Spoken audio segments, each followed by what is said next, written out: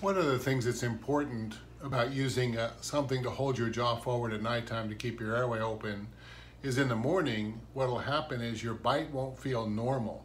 So inside the MyTap bag, there's a little device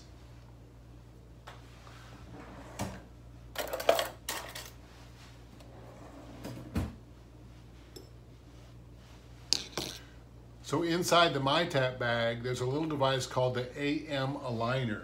Comes in this package right here. And it looks like this. It's a little wafer of, of tan material. You heat this up in some hot water. You don't have to boil it, but you heat it up in hot water. And then it goes over your teeth the way you have your bite right now. So before you use the, the device overnight. The trick to this is pretty simple. All you do is heat it up so it's kind of soft, and then you fit it over your teeth, like over the bottom teeth. And then here's a key part.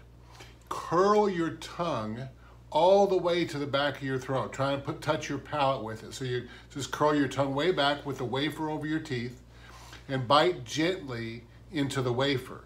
So I'm gonna do that real quick here.